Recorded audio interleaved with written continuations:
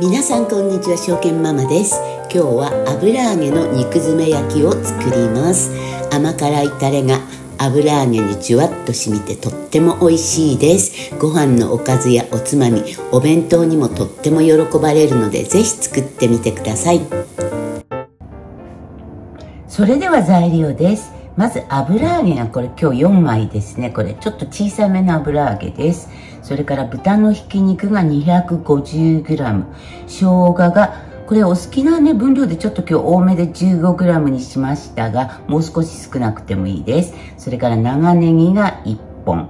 それからこれねあの肉種の方に入れていく調味料が塩コショウ少々に片栗粉大さじ1にお水が大さじ1です。それから煮ていく時の調味料です。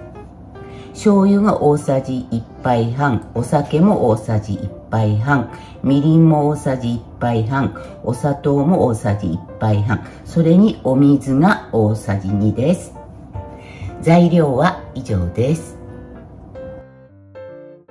はい。まずね、今日はですね、この油揚げのね、油抜きをですね、あの、お湯に通さないで、あのキッチンペーパーでね、あの、取っていきます。こんな風に。はい。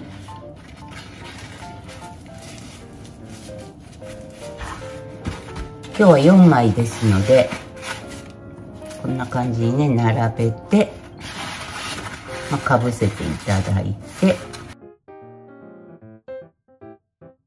はいそしたらねこれねくるくるとねペーパーごと巻いてきます。そしてねよく握っていただくと油がねこんなに取れます。はい。これでね多分ねこれあの菜箸なんかで上からコロコロやってもいいんですが今ちょっとこの巻いたことによって多分中剥がれていると思うのでじゃあねあと2枚も同様にやります。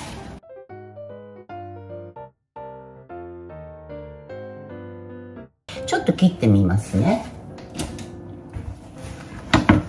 これ半分に切って今日8個ね作るので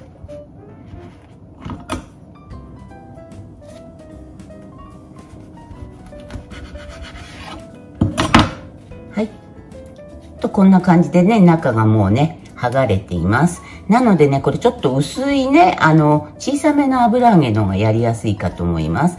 じゃあこんな感じで中をね、全部こうやって広げておきます。もうこんな感じで全部剥がれてます。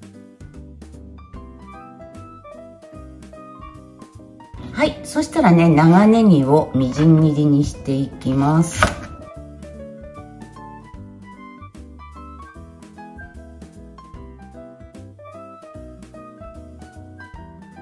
こんな感じで長ネギはみじん切りにしておきました。そしたらですねひき肉ですね。豚ひき肉をボウルに入れます。は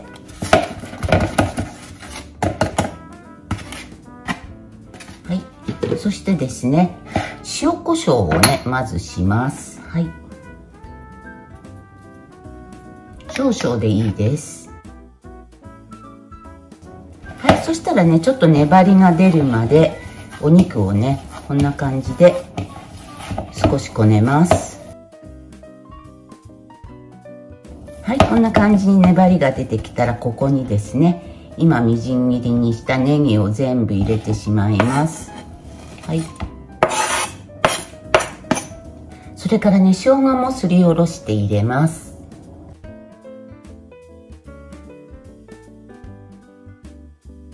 生姜を入れたらこれにですね片栗粉大さじ1を入れますそれからお水もね、大さじ1入れます。ちょっとね、あの、お水を入れるとお肉がふわっとなるので、お水大さじ1入れます。はい、そしてこねます。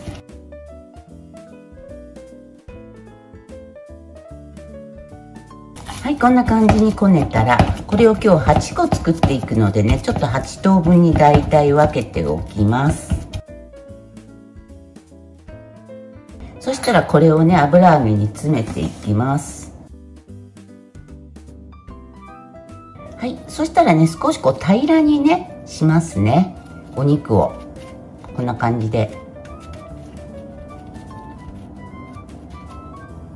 はいこんな感じです。したらこれを全部入れていきます。はいこんな感じにね油揚げにね肉だめ肉種を詰めました。そしたらちょっとこうねあの平らにした方がねあの焼きやすいので平らにしておいてください。そしたらこれを焼いていきます。はいまずねフライパンにね今今詰めた油揚げを並べていきます。火をつける前にね並べてください。そしたら火をつけて蓋をしてですねはいこんな感じでちょっと焦げ目がつくまで焼いていきますそうですね34分でしょうかそしたらね、ちょっと言い忘れましたが、先ほどね、あの、用意しておいた調味料ね、これ全部合わせておきますね。お水が大さじ2、あとは全部大さじ1杯半です。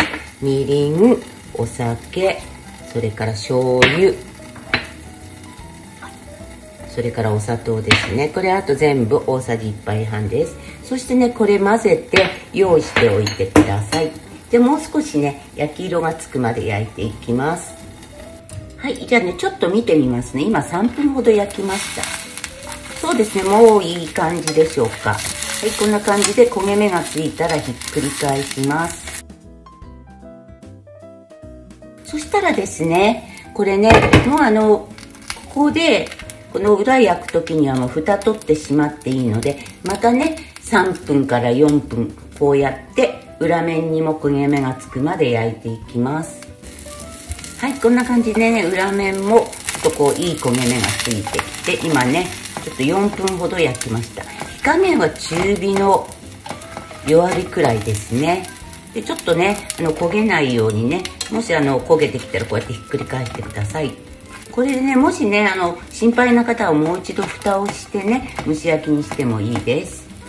はいそしてこんな感じでちょっと見ていただくともうひき肉の色が変わっていて火は通っていると思いますのでここで今度は調味料を入れていくんですがこれフライパンがすごく熱くなっているのでここで調味料を火をつけたまま入れてしまうと蒸発してしまうので火を今止めてちょっと一呼吸置きますね。はい。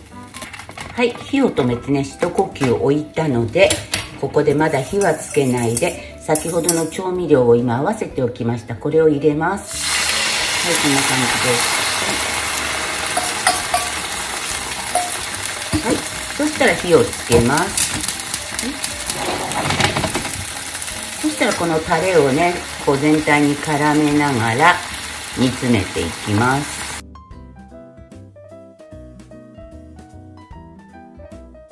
はい、もうこんな感じでいいと思います。火を止めます。はい、こんな感じに出来上がったので盛り付けたいと思います。じゃあね、ちょっと一つね、これ切ってみますね。はい。はい、こんな感じでね、完全に火は通っています。はい。はい、そしてね、少しタレが残っていたらかけますね。はい、これで油揚げの肉詰め焼きの出来上がりです。とっても美味しそうにできました。はい。それでは出来上がったのでいただいてみたいと思います。はい。ちょっとねこれ切ってみましたけれども。はい。こんな感じですはいじゃあいただきます。うん。油揚げにもね甘辛いお味が染みていてとっても美味しいです。それからこの種の方にですね生姜を入れているのでとっても爽やかで美味しくなっています。今日はですね簡単にこの油揚げにねひき肉を詰めてそして焼いて甘辛いタレで最後絡めてみました。これもちろんご飯のおかずとかおつまみにも美味しいですけれどもね。これお弁当なんかに入れてもとっても喜ばれると思います。これ冷蔵庫でね3日くらいは保存できますのでぜひねあの簡単でとっても美味しいので作ってみてください。ごちそうさまでした。最後までご覧いただきありがとうございました。他にも油揚げを使ったレシピの動画もいくつかありますのでよろしければ概要欄に貼っておくのでご覧くださいそれでは皆様また次の動画でお会いしましょう証券ママでした。